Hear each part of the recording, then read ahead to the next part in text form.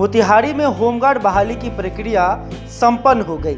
आज अंतिम दिन महिला अभ्यर्थियों ने भी दौड़ लगाई। बता दें कि बहाली के लिए कुल 16 दिनों तक शारीरिक परीक्षा ली गई। बिहार की रक्षा वाहिनी पूर्वी चंपारण मोतिहारी के लिए जो स्वच्छ नामांकन 2009 और 2011 का लंबित था, उसका हम लोग 8 अप्रैल से लेकर के आज 23 अप्रैल 2022 में हमने संपन्न किया। और 2009 में हमारे टोटल अभ्यर्थी जो है छ तीन हज़ार छः सौ उनसठ लोग अपियर हुए हैं, जिसमें कि दो सौ सत्रह पोस्ट पर ही लोग सफल हो पाए, जबकि तीन सौ बयालीस सीट था।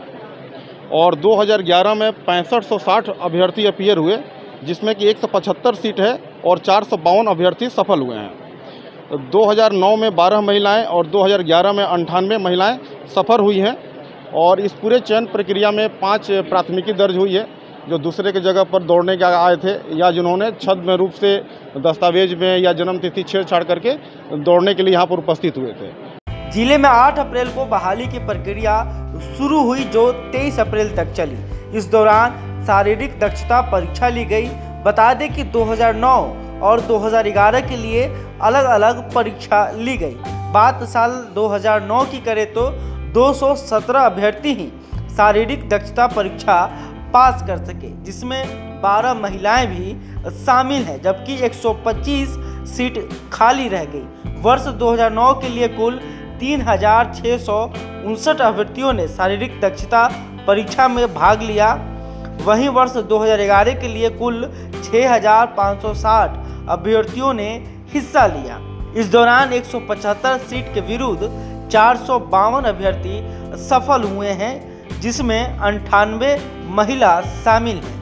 पूर्ण पारदर्शी, निष्पक्ष तरीके से जिलाधिकारी महोदय के निर्देशन में, एसडीओ एसडीओ सर के निर्देशन में यह चयन प्रक्रिया, CCTV camera, videography, photography, RFID का प्रयोग और तमाम जो तकनीकी सहायता हो सकती है, सोशल ऑडिट भी हम लोगों ने करवाया और इस प्रकार की चयन की प्रक्रिया को हम लोग आज संपन्न कर रहे हैं। जिन लोगों पर अभी भी हमें संदेह है या संदिग्ध हैं, उनकी भी जाँच पड़ताल चल रही है और तहकीकात से उनकी जाँच पड़ताल होगी। अंतिम चयन तक किसी भी बिंदु पर, किसी भी परिस्थिति में वो संशय के दायरे में होते हैं, संदिग्ध प्रतीत होते हैं तो संपूर्ण जाँच की जाएगी।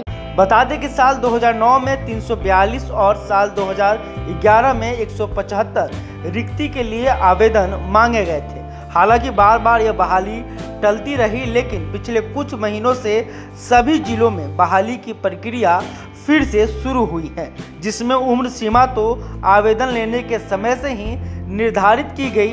बता दें कि चयन प्रक्रिया में अभ्यर्थियों के लिए उम्र सीमा 19 से लेकर 40 वर्ष निर्धारित की गई थी, जबकि योग्यता अपर और मिडिल स्कूल पास रखी गई थी। शारीरिक दक्षता परीक्षा में 1600 मीटर दौड़, लंबी कूद, ऊँची कूद और गोला फेंक शामिल था। मोतिहारी से बोलता बिहार की रिपोर्ट। आपको ये रिपोर्ट कैसी लगी, हमें कमेंट कर ज़रूर बताएँ। अगर आपने अभी तक हमारे चैनल को सब्सक्राइब नहीं किया है तो ज़रूर कर लें यह वीडियो। अगर आप फेसबुक पर देख रहे हैं तो हमारे पेज को भी लाइक करें। धन्यवाद।